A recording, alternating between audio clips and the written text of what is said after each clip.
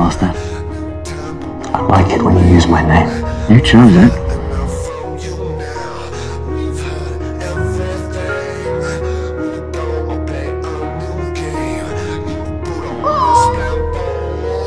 You are going